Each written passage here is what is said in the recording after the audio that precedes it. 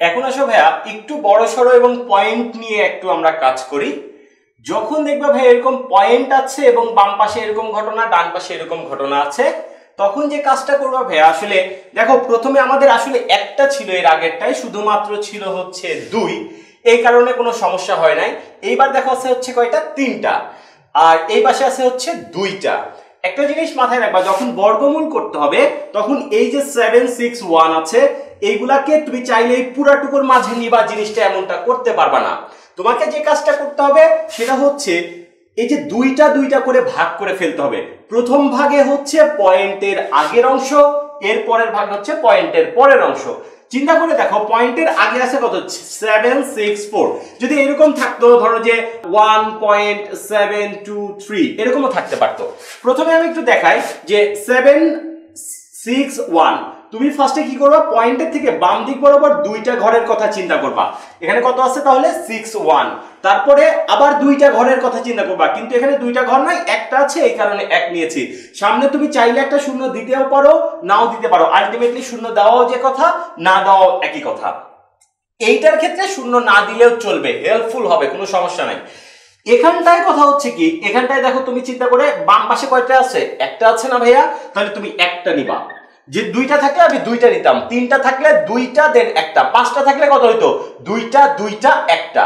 Be careful but ডান পাশে চিন্তা করো, এখানে কয়টা আছে ভাইয়া? দুইটা। ডান পাশের ক্ষেত্রে কয়টা করে নিব? দুইটা করে নিব। প্রথমে দুইটা। পরেরটাই কয়টা আছে? একটা।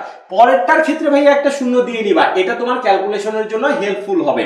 কারণ পয়েন্টের ওই পাশেও যদি তুমি একটা শূন্য দেওয়াও যে কথা, না দেওয়াও একই কথা। সো এখানে বি কেয়ারফুল এইভাবে করবা। এখন কথা হচ্ছে, যদি এটা হয়, তাহলে এটার কীভাবে আমরা বর্গমূল করব? তাহলে দেখো, প্রথমে কি লিখব? সেভেন সিক্স ওয়ান পয়েন্ট কত?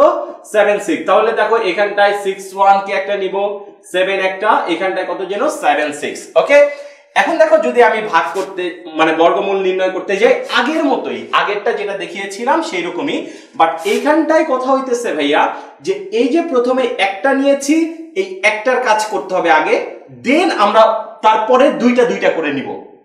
প্রথমে একটা মানে প্রথম জোড়া, তারপরের জোড়া, এখানে যদি জোড়া চিন্তা করো, এখানে একটা জিরো আছে। তাহলে এই জোড়াটা ফার্স্টে নিব, তারপরে এই জোড়ার কাজ যখন শেষ হয়ে যাবে, তারপরের জোড়ার, জোড়াটাকে নিব। এরকম করে জোড়া জোড়া আকারে নিব। এখন দেখো, তার মানে চিন্তা করতে হবে আমার, এখানে জিরোটাকে বাদ দিয়ে দিলাম ভাইয়া। সেভেন কে নিয়ে। তাহলে সেভেনের মাঝে কত যায়? One square one two square four three square nine তার মানে তুমি নিতে পারবা কত জন ভাইয়া? টু তাহলে এখানটায় হচ্ছে টু এখানটায় কত জন ভাইয়া? টু এখানে আসবে হচ্ছে ফোর তাহলে এখানে যদি ফোর আসে, এখানটায় আসবে হচ্ছে তিন। তাহলে এখন দেখো, আশা করি মনে আছে, এখানে কত নিয়েছো যেন? দুই। এখানে আছে কত? দুই।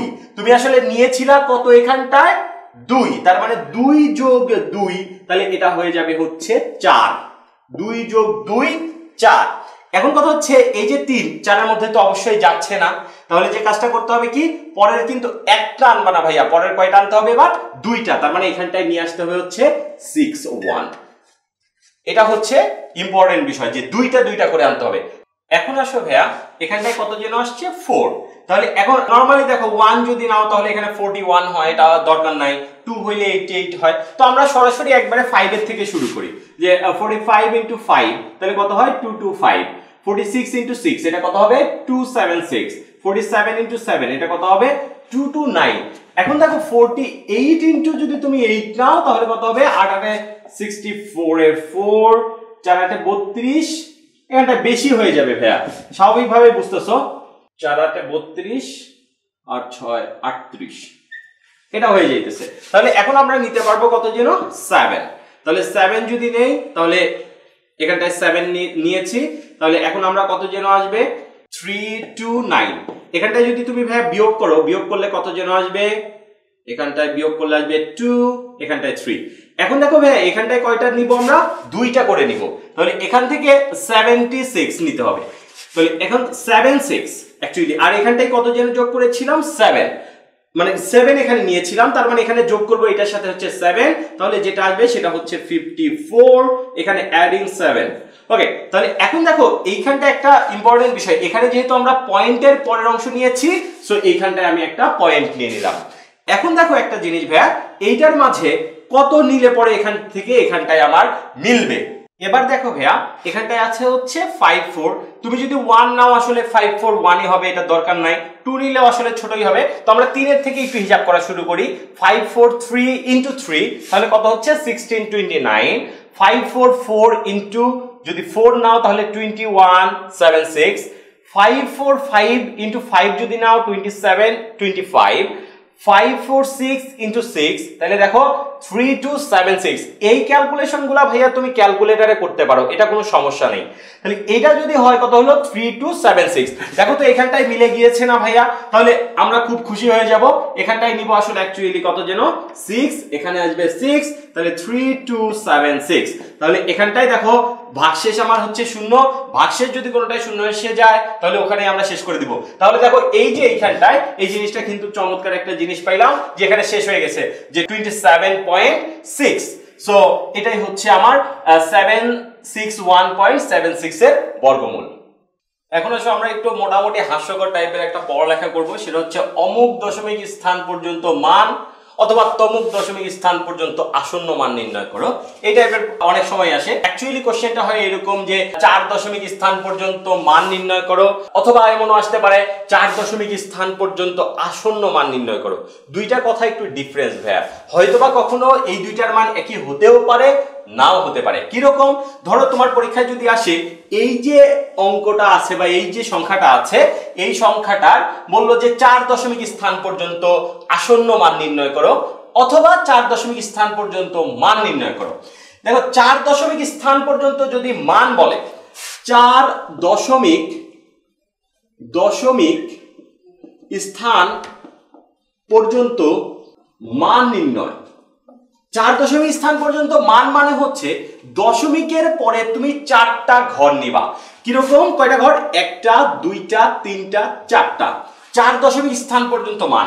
এটাকে এক নাম্বার দেই আমরা, আর এটাকে দুই নাম্বার দিই, তাহলে এক নাম্বারের জন্য হয়তো বা আমরা আনসার করতেছি।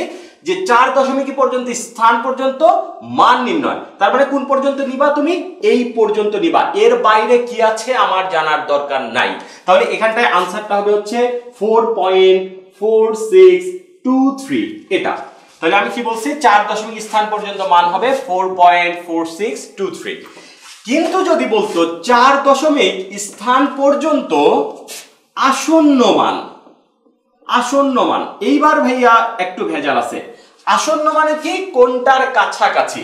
এখন একটা জিনিস দেখো, যখনই এই আসন্ন মান বলবে, তার মানে এর পরের যে সংখ্যাটা আছে, ওইটাও তোমার জন্য ইম্পর্টেন্ট এখন দেখো, এইখানটায় চার দশমিক স্থান পর্যন্ত ছিল এই অংশটুকু, কিন্তু এর পরের নাম্বারটা নিয়ে একটু চিন্তা করবা।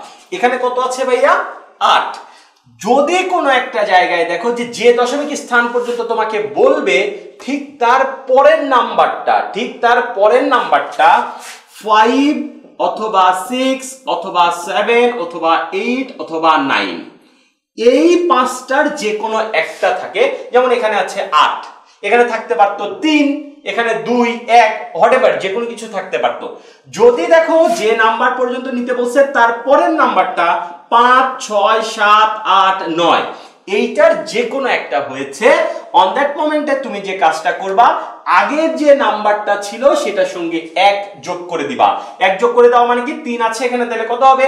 চার। তাহলে এটাকে লেখা যায় four point four six two এখানটায় হবে হচ্ছে ফোর ক্লিয়ার কিন্তু যদি, এখন চিন্তা করো ভাই আরেকবার বলে দিচ্ছি, যদি কোথাও শেষের নাম্বারটা যেটা আছে, তার পরবর্তী নাম্বারটা five six seven eight nine শুধুমাত্র এইগুলাই থাকে, তাহলে তার আগের নাম্বারের সঙ্গে আমার এক যোগ করতে হবে। এখন কথা হচ্ছে, যদি এরকম থাকতো, তোমাকে বলতো যে তিন দশমিক বা আমি বলে দিলাম যে দুই দশমিক স্থান পর্যন্ত মান নির্ণয় করো আর আসন্ন মান নির্ণয় করো। দুই দশমিক স্থান পর্যন্ত মানে কি?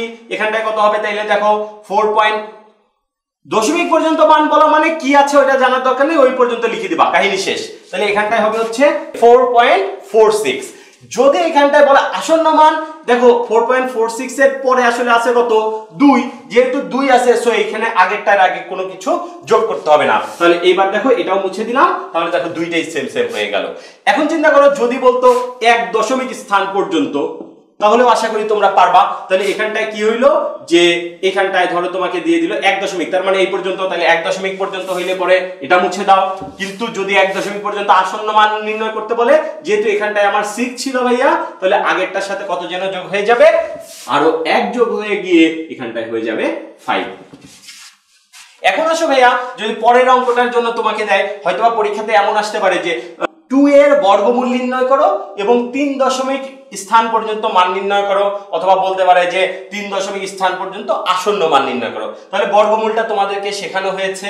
এখন যদি বর্গমূলে বলে তিন দশমিক স্থান পর্যন্ত মান নির্ণয় করো, দেখো তিন দশমিক স্থান পর্যন্ত মান নির্ণয় করতে বলল, অথবা তিন দশমিক স্থান পর্যন্ত আসন্ন মান নির্ণয় করতে বলল। তাহলে আমরা যে কাজটা করব, তাহলে তিন দশমিক পর্যন্ত মানে কি হতো? এই অংশটুকু না ভাইয়া? এই যে এই অংশটুকু, দেখো। এই যে এই অংশটুকু, এর বাইরে যাব না আমরা, তাহলে সেটা লিখব হচ্ছে কত? One point four one four এখন যদি বলে তিন দশমিক স্থান পর্যন্ত আসন্ন মান নির্ণয় করো, তাহলে দেখো এইটার পরের যে অঙ্কটা আমার চিন্তা করতে হবে, এখানে আছে কত? দুই, যেহেতু পাঁচ, ছয়, সাত, আট অথবা নয়, কোনোটাই নেই সো এইখানটায় আগেরটার সঙ্গে আর কোনো কিছু যোগ করতে হবে না, সেক্ষেত্রে আমার যেটা থাকবে one point four one four এটাই হচ্ছে আমার আসন্ন মান অথবা ওই পর্যন্ত মান নির্ণয়।